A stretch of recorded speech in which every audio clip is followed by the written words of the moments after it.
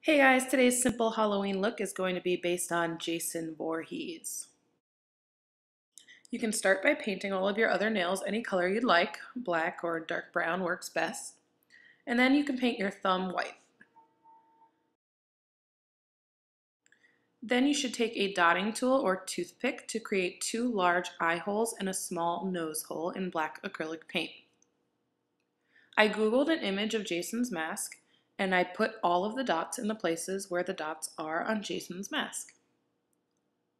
The first ones I placed were the ones coming up diagonally from the eye holes, and then some right along the sides.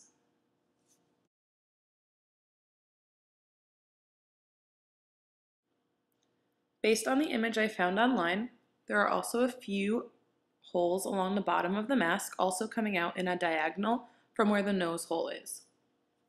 After I placed all of these dots exactly where I wanted them to be, I decided to go back in and add a little bit more detail. I took a small paintbrush and I added in a couple of slashes of red. You can see here that I'm using the brush very lightly and the bristles are actually kind of separated which gives it a scratched look. I also added in some black to make the mask look dirty. I hope you guys enjoyed this look. It is super simple and easy for Halloween. Don't forget to add me on Facebook and Twitter, and I'll see you next week.